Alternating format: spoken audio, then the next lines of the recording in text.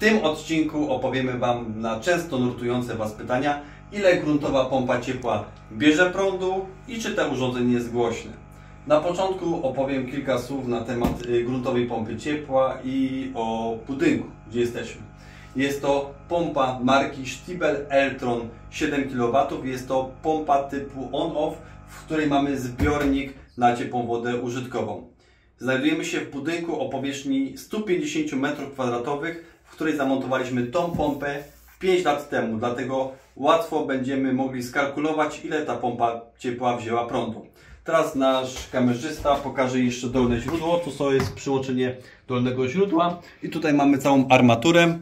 Tutaj przejdziemy do skrzynki elektrycznej, w której mamy podlicznik. Jak widzicie na podliczniku mamy prąd zużyty przez 5 lat, czyli troszkę ponad 15 tysięcy kWh.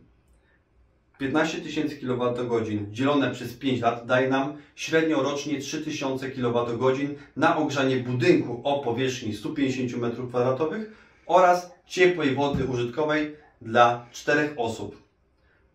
Już przeliczając na złotówki 3000 kWh razy 66 groszy daje nam 2000 zł średnio rocznie za prąd. W tym momencie przeprowadzamy test głośności gruntowej pompy ciepła marki Stiebel Eltron. Jak mówię, to jest około 80 dB. Teraz przestanę mówić i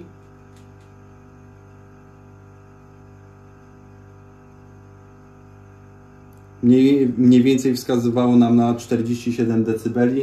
Dlatego pompa, pomimo tego, że jest pomieszczenie bardzo małe, to określam to jako bardzo cichy dźwięk. Gdy zamkniemy drzwi w tym pomieszczeniu, to już w następnym nie słyszymy prawie nic.